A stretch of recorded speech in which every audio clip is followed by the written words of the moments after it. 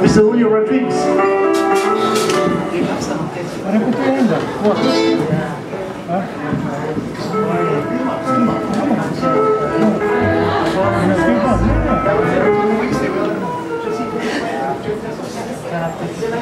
Teste um duplo, né? um, dois, três.